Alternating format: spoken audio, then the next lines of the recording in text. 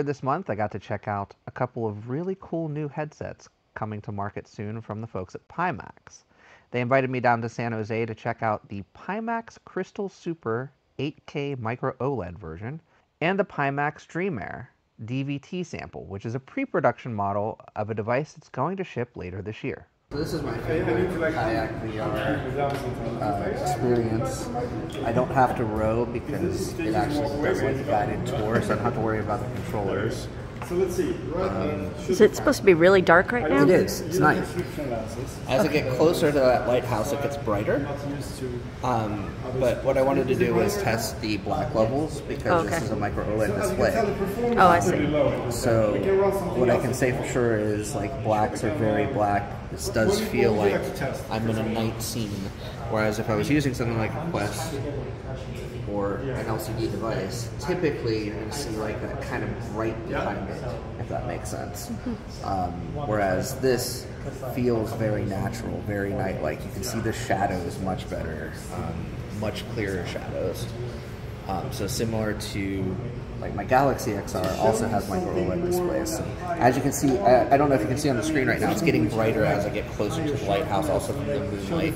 The moon is behind me, I can't really turn around because the cable, kind of nervous to do that. Um, but it gets brighter and brighter as you get closer to this lighthouse and around these rocks.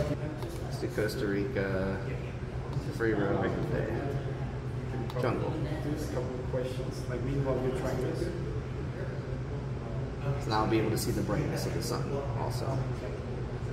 And hopefully no reflections because that's one of the things that um, with OLED displays with Fresnel lenses, um, this is a more uh, concave, I believe, lens. Uh, similar to the old Gear VR lenses, how they were concave. Um, so there's no um,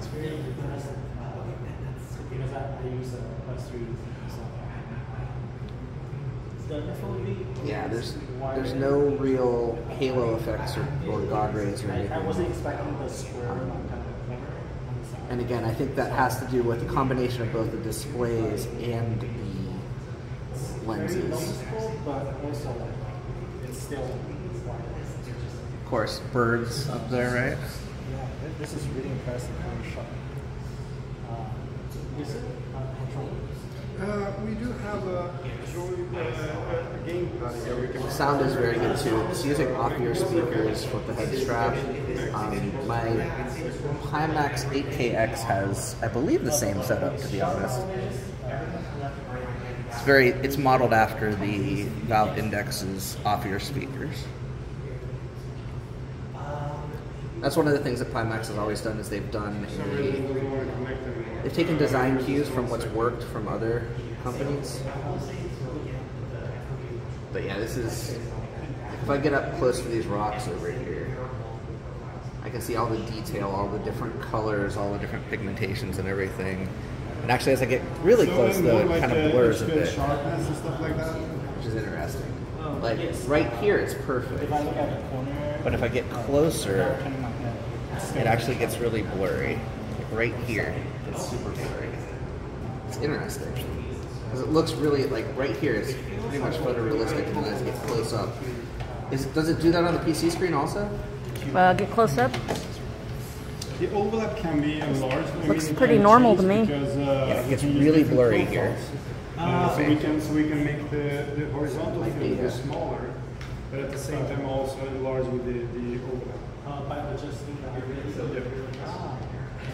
Let me see if I can. Yeah, I'm moving. Okay, so there we go. The, the uh, gamepad. And then you use the joystick to just move around. The frame rate is not fully perfect.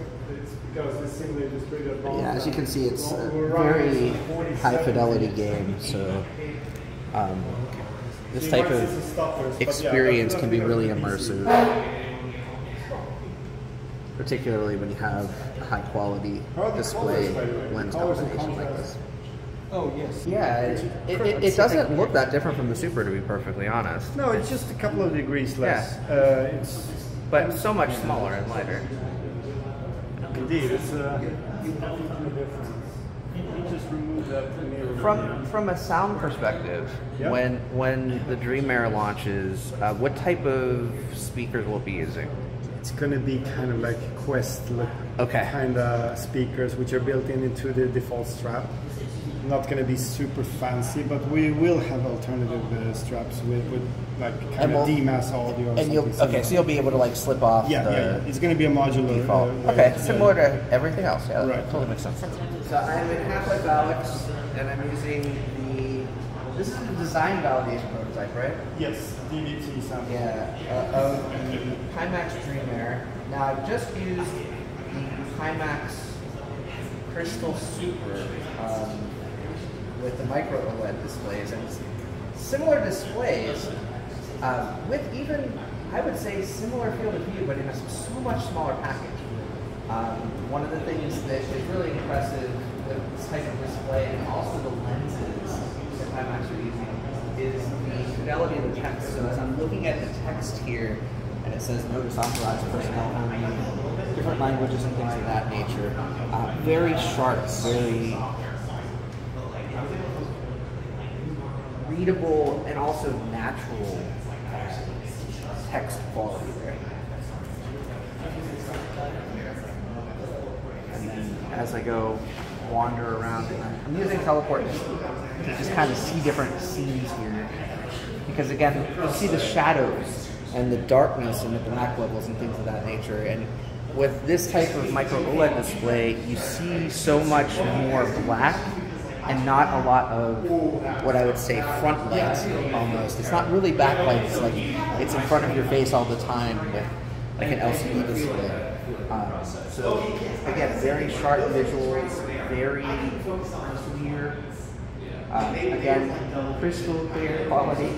Um, looking at this little lead growing here, again, you're you're seeing um, more lifelike representation than you would with something like a Quest device. Um, because it's sharper image quality at higher resolution, uh, again, with a bit more field of view as well.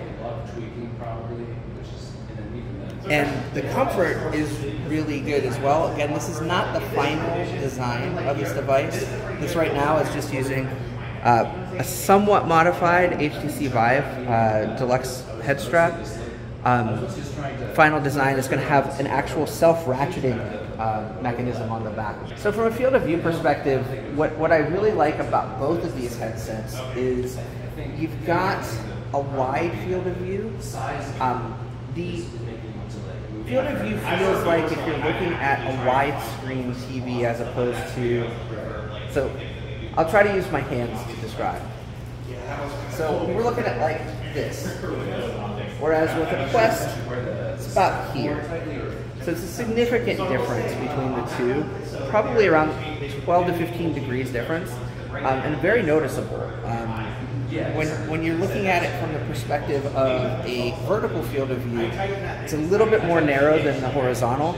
So it's not all encompassing like you would have with an older Pimax headset like the 8KX, uh, which I have at home, um, where it's more um, surrounding, uh, but it's, it's more like, like I said, if you're looking at a larger screen in front of each eye, um, and in a manner that everything on that screen is sharp from edge to edge, uh, which is impressive. And again, it's such a small form factor as well. It almost feels like I'm wearing a pair of swim goggles almost on my face, if that makes sense.